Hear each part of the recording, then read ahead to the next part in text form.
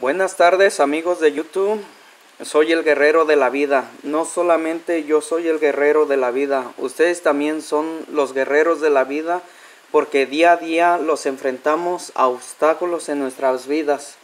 Por ejemplo, cada día trabajamos duro para traer el pan de cada día a todos nuestros hijos, familiares, y Dios los ha bendecido con el trabajo para ayudar a otras personas. Yo sé que hoy estamos pasando por un mal momento sobre el coronavirus, pero quiero traerles un poco de esperanza allá en sus casitas, de que no vean mucho la tele para que no se me traumen. A todos mis suscriptores y a los que se van a suscribir a mi canal, que Dios me los bendiga y me los proteja. Estoy haciendo este video para toda la gente de que no se trame viendo este, mucho las noticias, todo eso. Hay que ver lo más importante, cómo a prevenir el coronavirus, cómo a prevenir este, contagiarnos, a obedecer las reglas de usar mascarillas, de este, usar detergentes para desinfectar las manos. Lo más importante, el, el remedio de, de mi jefa, este, usar también gárgaras de vinagre, de vinagre blanco. Este, pueden echar poquito en un vaso y echarle este agua, media agua, hacer gárgaras y aventarlas. Eso es bueno para la tos, para muchas infecciones. Puede ayudar poquito para el coronavirus. No digo que lo va, lo va a arreglar y todo eso va, pero eh, es algo a prevenir. Apoyemos esto y yo los voy a apoyar espiritualmente, moralmente. Este, por favor, no se alarmen. si van a las tiendas y todo eso, traten de comprar lo más necesario, este, de tomar el día como si fuera un día cualquiera, porque si nosotros decimos, oh, los va a hacer falta esto en un futuro y esto les vamos a estar quitando los beneficios a otras personas que quizás estén necesitadas y nosotros tengamos almacenamiento de muchas cosas. Bueno, ahora quiero hablar un poco de la Biblia, por qué el coronavirus y por qué eso, pero si nosotros creemos en Dios, este video lo estoy haciendo hoy que resucitó nuestro Señor Jesucristo, gracias a Él fuimos salvos. Quiero contar un, pequeño reflexión, a ver si les puede ayudar un poco para ustedes. Había una caja dorada y una negra. Entonces nuestro Señor Jesucristo, Él habló con una persona que se quejaba mucho, que en el trabajo le iba mal, que todo esto le iba mal y que todo. Entonces se le apareció nuestro Señor Jesucristo. Dice, en la caja dorada vas a depositar tus alegrías, todo lo que es bueno para ti. En la caja negra vas a depositar tristezas, problemas, todo eso. Dice, yo voy a regresar en una semana. Entonces en esa semana cuando regrese me vas a decir cuál pesa más y cuál no. Entonces a esa persona le entró la curiosidad porque la dorada pesaba más y la negra pesaba menos. Entonces la negra pesaba menos y él le ganó la curiosidad, la abrió y tenía un hoyo. Entonces dijo, por eso pesa menos la negra y la, la dorada pesa más, pero él no la quiso abrir. Entonces cuando llegó nuestro Señor Jesucristo, le dijo, le dijo a él, ¿cuál te pesa más? Dice la dorada. ¿Por qué la negra no te pesa más? Dice, ¿por qué la negra no me pesa más? Dice, ¿por qué tiene ese hoyo? Dice, dice, cuando yo di la vida por ti, ese hoyo son las cicatrices que me dejaron para llevar tus enfermedades, para llevar tus problemas, para llevar todo de ti. Dice, confía en mí, por eso está livianito. Y todas las alegrías que tenía la caja dorada, entonces esa caja dorada tenía alegrías Dice, esas mi Padre te las ha dado, dice, mi Padre te las dio. Dice, no debes de desconfiar, dice, mi Padre te da alegrías, te da bendiciones todos los días, dice, yo te quito las tristezas. Entonces, ahorita lo que puede haber es una guerra espiritual. ¿Y cómo se arregla esa guerra espiritual? Confiando como el pueblo de Israel confió en nuestro Señor Padre Todopoderoso que esté en los cielos y confiando como nuestro Señor Jesucristo, que al final los soldados pensaron que lo habían derrotado, ahora en ahora pues en, en Pascua, dijeron, nosotros ganamos, pero Él ganó mucho más. ¿Cuántas iglesias hay ahorita en todo el mundo que confían en Dios? ¿Por qué no confiar nosotros? Ok, este, ciencia cura enfermedad del cuerpo, entonces nuestro Señor Jesucristo es el doctor que cuida lo interior tuyo. Hay que confiar en Él, las oraciones y todo, para que Él los libre del coronavirus. Ahorita que es día de Pascua, recordarlo y todo, para que Él los ayude y que le dé luz a las personas que se ha llevado esa enfermedad, porque ellos no están muertos, ellos lo que ha hecho nuestro Señor Jesucristo, se los ha llevado con el brazo abierto, ellos no han muerto. Y nuestro Señor Jesucristo por eso hizo las tres caídas y Él resucitó al tercer día. ¿Por qué resucitó? Porque gracias a Él, a Él, este, venció la muerte. Entonces el cuerpo se muere, entonces ahorita lo que está vivo son los espíritus de cada persona que están allí. No todos vamos a morir por el coronavirus, vamos a morir de diferentes maneras, no más que no es muerte, sino que vamos a llegar al Señor, que muere en la carne. Entonces, quiero enseñarles un párrafo de la Biblia.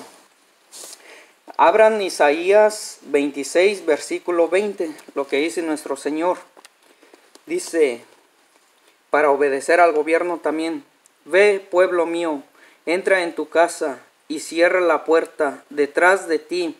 Es Esconde tú, escóndete un poco hasta que pase la ira del Señor, porque el Señor va a salir de su palacio para castigar por sus pecados a los habitantes de la tierra, y la tierra no ocultará más sus víctimas, sino que dejará de ver los crímenes cometidos en ella. Entonces es Isaías 26, 20. 26 cuando empezó la enfermedad, 20 del año que estamos ahorita, y la cura mejor para eso y espiritualmente, abran Salmo 91. Ahora es lo que vamos a ver. Fíjense lo que dice en Salmo 91. ¿Ok? ¿Se están fijando bien? Ok. Dice, el que vive bajo la sombra protectora del Altísimo y Todopoderoso, dice el Señor, tú eres mi refugio, mi castillo, mi Dios, en quien confío. Solo Él puede librarme de las trampas ocultas y plagas mortales, pues te, pues te cubrirá con sus alas y bajo ellas estarás seguro. Su fidelidad te protegerá como un escudo. No tengas miedo a los peligros nocturnos, ni a las flechas lanzadas de día, ni a las plagas que destruyen con la oscuridad, ni a las que destruyen a pleno sol, pues miles caerán muertos a tu izquierda y diez mil a tu derecha, pero a ti nada te pasará, solamente lo habrás de presenciar, verás a los malvados recibir su merecido, ya que has hecho del Señor tu refugio, del Altísimo tu lugar de protección, no te sobrevendrá ningún mal, ni la enfermedad llegará a tu casa, pues Él mandará que sus ángeles te cuiden por donde quiera que vayas. Te levantarán con sus manos para que no tropiece con piedra alguna. Podrás andar entre leones, entre monstruos y serpientes. Yo lo pondré a salvo, fuera del alcance de todos, porque Él me ama y me conoce. Cuando me llame le contestaré, yo mismo estaré con Él. Lo libraré de la angustia y lo colmaré de honores. Le haré disfrutar de, una larga vida y le haré gozar de mi salvación. Así que el Salmo 91 es algo para podernos aliviar algo de ese virus o algo, porque puede ser una guerra espiritual. Entonces, si estamos en oración con nuestro Padre Santísimo que esté en los cielos, Él los va a librar de plagas ocultas, oscuridades, todo eso. También otro salmo que está muy bonito y se los quisiera leer es el Salmo 26. Fíjense bien lo que dice. El Señor es mi luz y mi salvación. ¿De quién podré temer miedo? El Señor defiende mi vida. ¿A quién habré de temer? Los malvados, mis enemigos, se juntan para atacarme y destruirme, pero ellos son los que tropiezan y caen. Aunque un ejército me rodeara, mi corazón no tendrá miedo. Aunque se prepare para atacarme, yo permaneceré tranquilo. Solo una cosa he pedido al Señor. Solo una cosa deseo, estar en el templo del Señor todos los días de mi vida para adorarle en su templo y contemplar su hermosura. Cuando lleguen los días malos, el Señor me dará abrigo en su templo, bajo su sombra me protegerá, me pondrá a salvo sobre una roca, entonces podré levantarme la cabeza por encima de mis enemigos. Entonces podré ofrecerle sacrificios en su templo y gritaré de alegría, cantaré himnos al Señor. A ti clamo, Señor, escucha, ten compasión de mí, respóndeme. El corazón me dice, búscame la presencia del Señor, y yo, Señor, busco tu presencia. No te escondas de mí, no me rechaces con ira, mi única ayuda eres tú no me dejes solo sin amparo, pues tú eres mi Dios y Salvador, aunque mi padre y mi madre me abandonaran, tú, Señor, te harás cargo de mí, Señor, muestra tu camino, guíame por el buen camino, a causa de mis enemigos, no me entregues a su voluntad, pues se levantaron contra mí testigos falsos y violentos, pero yo estoy convencido de que llegaré a ver la bondad del Señor a lo largo de esta vida. Ten confianza en el Señor, ten valor, no te desanimes, si ten confianza en el Señor. Entonces, lo que único que yo les pido, tengamos confianza en el Señor, refugiéndonos en ellos y por favor, protegernos uno al otro y tomemos los días normales y, y si vamos a la tienda igualmente, no avariciar esas cosas porque lo que estamos haciendo, estamos este, llevándonos cosas que otros necesitan y nosotros las tenemos arrumbadas. Al rato las vas a vender más baratas, aunque las estás comprando caras. ¿Por qué no tomar los días normales y comprar las cosas las que necesitamos? Dios no los va a olvidar. Bueno, espero les haya gustado mi video y que Dios me los bendiga y me los proteja a todos mis suscriptores. Adiós.